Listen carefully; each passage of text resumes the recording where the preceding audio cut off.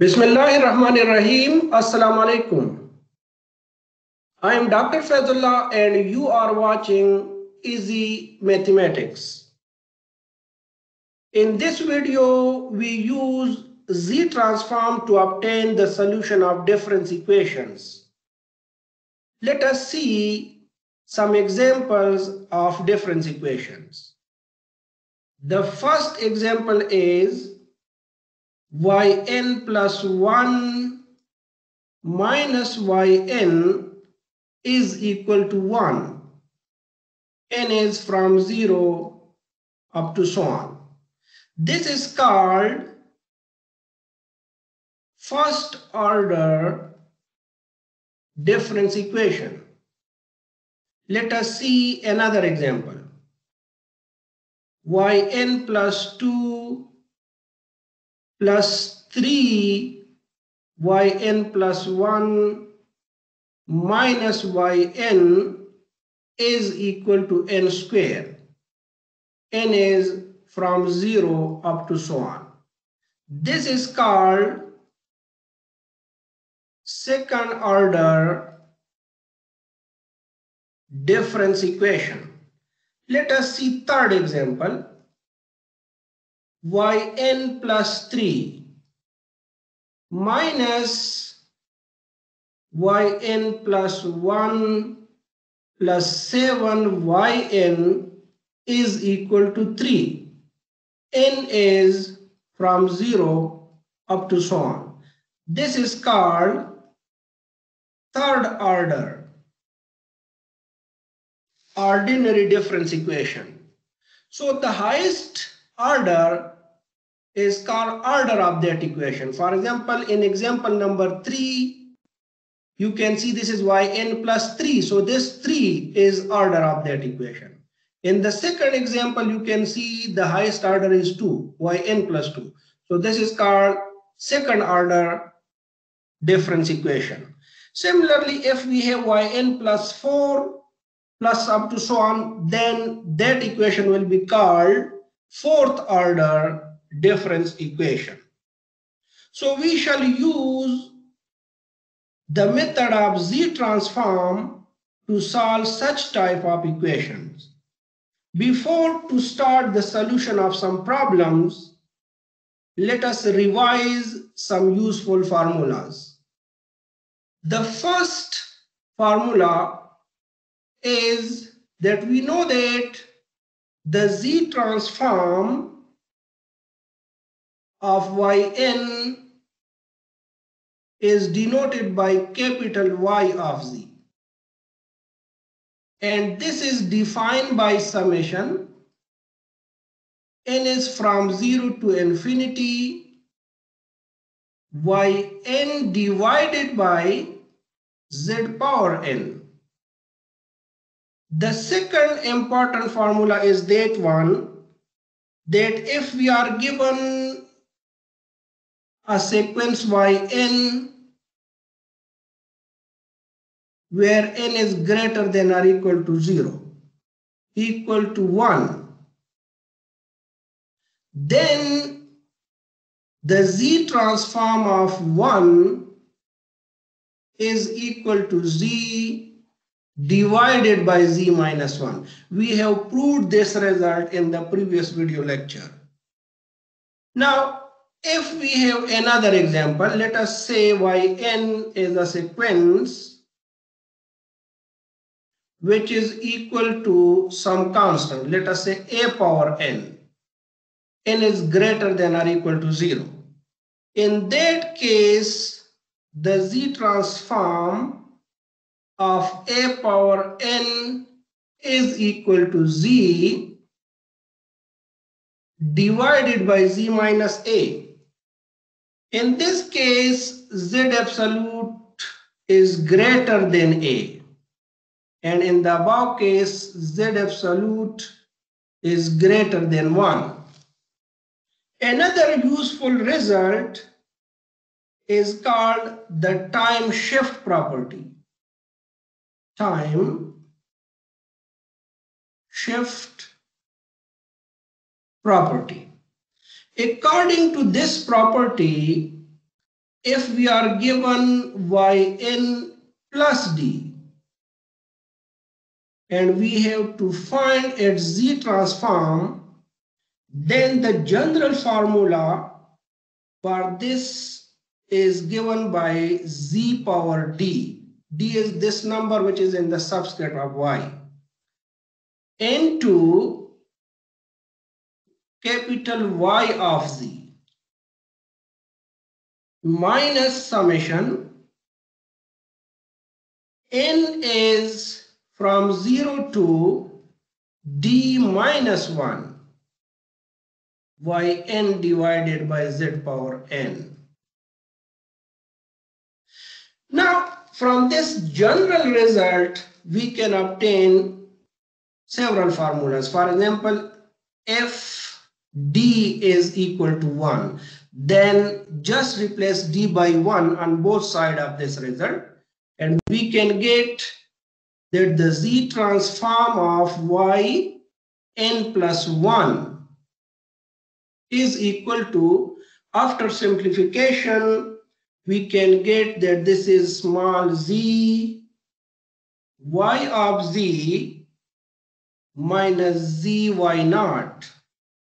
Similarly, if d is equal to 2, just replace d by 2 on both sides of this equation and we can get that z transform of yn plus 2 is equal to replace d by 2 and after simplification we can get z square y of z minus z square y naught minus z y1.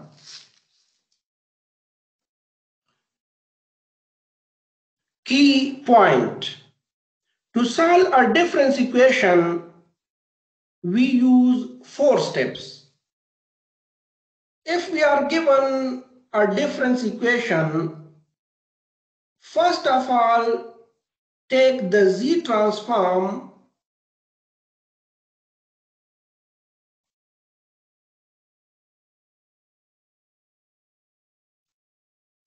on both sides.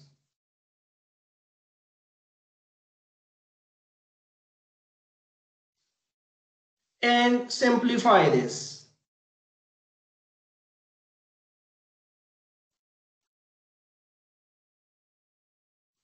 In the second step, put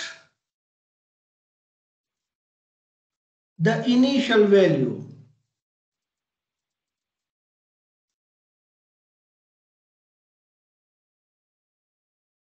In the third step, solve the resulting equation for y of z.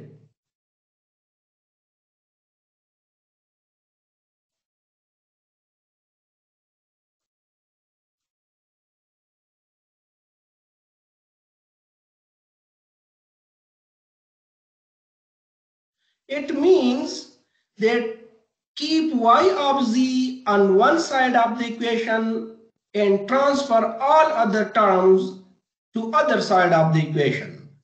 The last step is take the inverse z transform on both sides.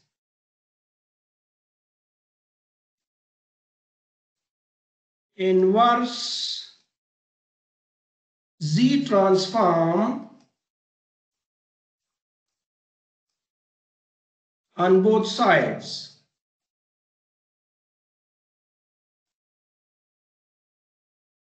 And simplify. In this way, after simplification, we can get the required solution. So now we are in the position to obtain the solution of a difference equation by using the method of Z transform. In this example, we are given a difference equation yn plus 1 minus 3yn is equal to 4 with the initial condition y naught is equal to 1 and we have to obtain its solution by the method of z transform. In the first step, we shall take the z transform on both sides of this equation. So let us do that. z transform of yn plus 1 minus 3 yn is equal to z transform of 4. And now by the linear property, we can write that this is z transform of yn plus 1 minus 3 z transform of yn is equal to 4 z transform of 1. And now we can use the formula from the shift property that z transform of y n plus 1 is equal to z capital Y of z minus z y naught minus 3 y of z is equal to 4 and z transform of 1 is z divided by z minus 1. Now let us put the value of the initial condition y naught which is equal to 1 and taking y of z as common after simplification we can get that this is z minus 3 y of z is equal to 4z divided by z minus 1 and minus z. This minus z will go to other side of equation so it will become plus z. Let us simplify this by taking the LCM so if we take the LCM we can get that this is z minus 1 and after simplification we can get 3z plus z square.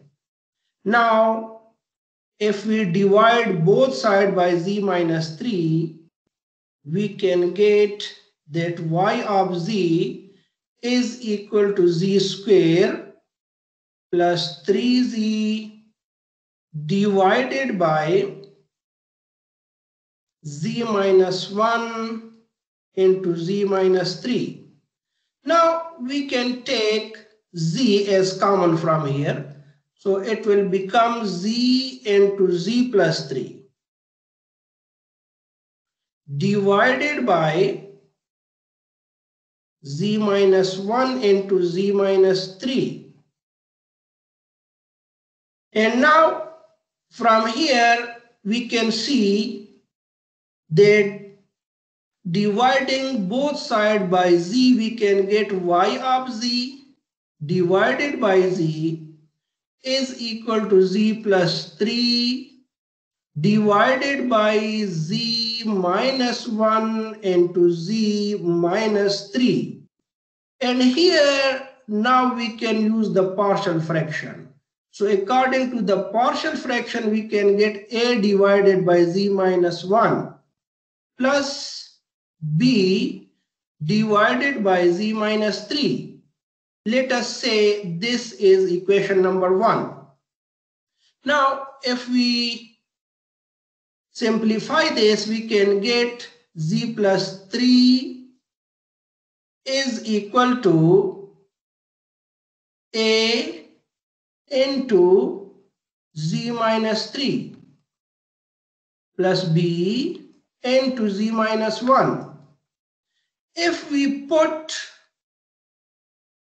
z is equal to 1 in this equation, after simplification, we can get that a is equal to minus 2.